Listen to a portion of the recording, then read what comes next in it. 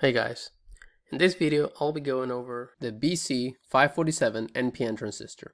Transistors can work as switches or amplifiers, but this video will focus on the application of this transistor as a switch. As a switch, the transistor basically allows a large current to flow through the collector, marked in the diagram below, by flowing a small current through the base, as you can see as IB. These two then join and exit at the emitter. So, for this specific application, I'll be showing an example uh, for a project I'm working on where I want to light up a flash, basically an LED that is pretty bright. Uh, and this LED works in an operating voltage somewhere between 9 and 14.8 volts with an operating current at that voltage of 15 milliamps. I will want to do this with an Arduino, so now I'll show you the specs for that Arduino Uno. Going over Arduino's website, we can see basic information. So we can see in the technical specs, we can see the operating voltage of 5 volts. And if we look a little bit further down, we can see the DC current for an I.O. pin at max of 20 milliamps. So now, if we compare both the Arduino Uno and the LED flash I want to run, we can see that the operating voltage of the Arduino Uno is 5 volts, while the operating voltage of the LED flash is between 9 and 14.8. And we can see the max current out of a pin for the Arduino Uno, or I.O. pin, will be 20 milliamps, whereas the LED flash needs 15. On the current, we're okay, except the difference being that those currents are different voltages, being a higher voltage in the LED, uh, so we're going to need to try something else. We cannot just connect it directly to the Arduino Uno. For this, we're going to use a transistor, specifically the BC547 NPN transistor, as a switch. Now, before we get too far ahead and start testing this with an Arduino, let's actually just test it with a simple circuit that involves a 5 volt supply, a 12 volt supply, and a push button, as well of course transistor being the BC547 transistor and also a 4.7 kilo ohm resistor. So we see in this circuit that we have a 5 volt power supply going through a push button, then going through a 4.7 kilo ohm resistor, then to the base of the transistor, which exits at the emitter and goes to ground. And on the other side, we have a 12 volt power supply, which drives the main LED that we're working with, which then goes to the collector and through the emitter and back to ground. When we look at this in our breadboard schematic, we have here the 12 volt power supply on the positive side, then goes to the LED and exits going into the collector as we saw previously on the circuit on the left, which then exits at the emitter, goes back to ground, closing this loop. When we look at the other diagram, here we have 5 volts, which comes here diagonally to the red terminal. If you follow along, you will see that then that jumps into a switch, which is the same thing we had in the circle on the left. After the switch, we have a 4.7 kilo ohm resistor, which goes to the base of the transistor, exit at the emitter, go back to ground. Alright, so now let's go ahead and take a look at how this all works from an electrical engineering standpoint and let's do the math behind it. So here we have the specification for our BC547 NPN transistor. We can see, shown here in the top right uh, table, that the current gain, HFE, also known as beta, is 110. Uh, you can see that given it's 110, let's say you had a current in the base uh, of the transistor of 1 milliamp, in that case, the collector current would be amplified by a factor of 110. So that 1 milliamp would then flow through the collector as 110 milliamp. Or it could flow at a minimum at that should you have any sort of device pulling that much current. So that's how we should interpret that gain factor. You could also see that we have the collector to emitter saturation voltage of 600 millivolts as a max. We'll use that worst case scenario for our math and we have 700 millivolts or 0.7 volts for our base to emitter saturation voltage. So let's go ahead and take a look at the math. We can see that our first equation is 12 volts, so that's our voltage here at the top of the circuit, minus the voltage across the LED, minus the voltage across the collector to emitter, equals zero, which is zero because we got all the way to ground. we can rearrange that to say that the voltage between the collector and the emitter equals 12 volts minus whatever the voltage is across the LED. We know that the maximum voltage between the collector and emitter for saturation uh, is 0.6 volts. So that means that the minimum LED voltage would be 12 volts minus this 0.6, which gives us the 11.4 volts. Now, we said before that the voltage of the LED can be anywhere between 9 volts and 14.8 volts. We got 11.4, so this is within range, so we're good here. Now, we know that the voltage between the base and the emitter during saturation is 0.7 volts. We got that from the table above. And by looking now at the path from the 5 volt to ground, we know that 5 volts minus the voltage drop across the resistor, which is equals to the current going through the resistor times the resistance, so minus I sub B times 4.7 kilo ohms, minus the voltage going between the base and the emitter equals zero. We can rearrange that to say that the current equals the voltage of the 5 volts minus the voltage drop across the transistor between the base and the emitter divided by the resistance, that's the current. And that will be 0.915 milliamps.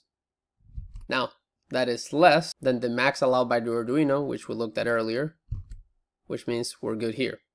Now, we talked about the amplification factor, so we know that the current going through the collector equals the amplification factor times the current going through the base. That will be 110 times the 0.915 milliamps that we talked, and that gives us 100.6 milliamps, which is greater than the current eaten by the LED that we reviewed earlier as minimum of 15 milliamps.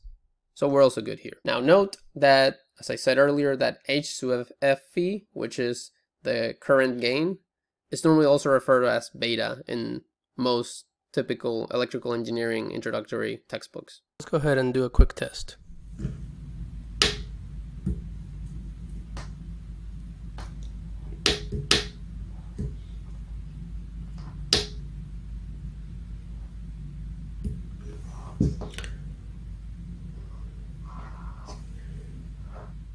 Alright, so let's now go ahead and take a multimeter to take measurements of the input voltage at the 5 and 12 volt inputs, as well as the currents uh, for the LED and our transistor. So I'll be using an Amprobe multimeter and also alligator clips that I found super helpful to troubleshoot uh, with breadboards. And I'll add a link in the description in case you're interested in them. So we'll be going ahead and connecting our jumper cables to the alligator clips and I'll be putting one on ground as you can see and the other one at the input voltage and we can see we have very close to 5 volts. Then I'll go ahead and remove the positive on that one and go to the other rail to see almost at 12 volts. So we have confirmed these two as we expected I'll now go ahead and switch the input on the multimeter uh, and set it at the appropriate input so that we can measure current. And we'll be removing one of our jumper cables and connect our multimeter cable so that current can flow through it instead of the previous yellow jumper cable that I just removed. So we connected at the same spot where we had it and we set our multimeter to measure current. I'll have it in milliamps.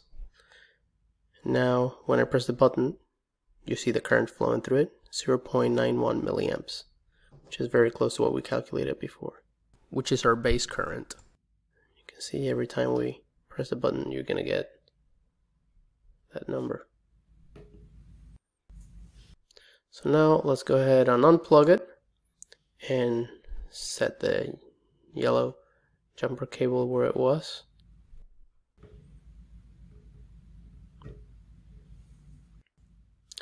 And now let's go ahead and remove this cable. Set this one on ground. This other one right there. So we turn off the power supply and turn on the switch. You see we get 18.52 milliamps. Now, let's transition to the circuit and breadboard that would be needed for implementation with an Arduino Uno. So as you can see, it's a little bit more complex.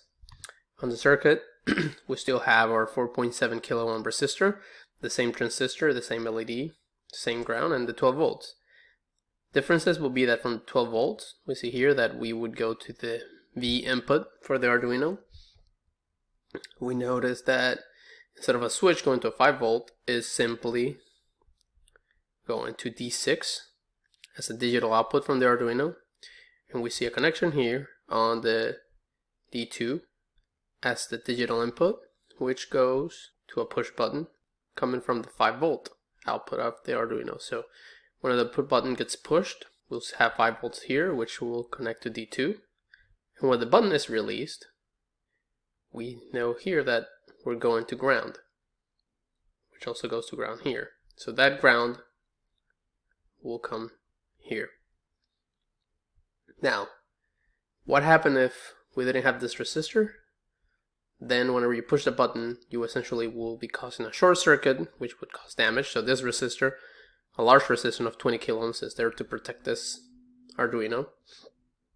And if you just simply put a push button without all this, it will be a floating pin, which would cause issues. So by placing this here, you ensure that it's either going to be 5 volts whenever you push the button, or when you release it, it's going to be connected to ground. Other than that, no major changes on the circuit. Uh, over here, you simply have the 12 volts and the ground, and we have the same loop going through the LED from there to the transistor, specifically uh, the collector, then to the emitter, then to ground. And then we have the base, a resistance, and that goes to the digital output number 6, as we saw earlier. And we have our digital input 2, which, when you loop around, it goes to the 4.7 kilo ohm resistor, and there to ground, and then we also have the switch, which goes to the 5 volts. And those 5 volts are connected here with the Arduino. Here we also have the same ground and then ground here to the common ground and then the V input that we talked before, the 12 volts. Now let's go ahead and take a look at the Arduino code that we'll be using for this example. First, in the first line, we see that we identify button 2 as an integer, which will be the digital input coming from the button.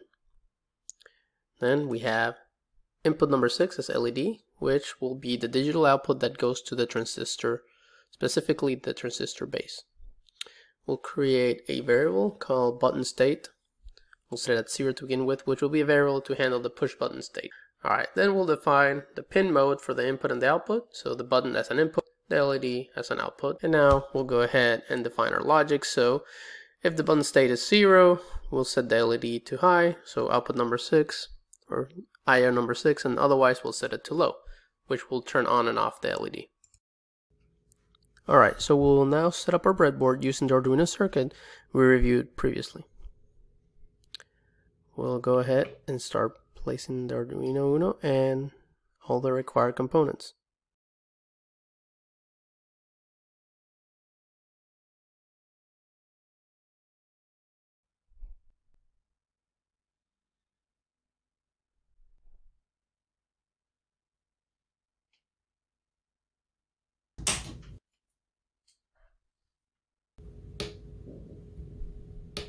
Once done, we'll go ahead and test it.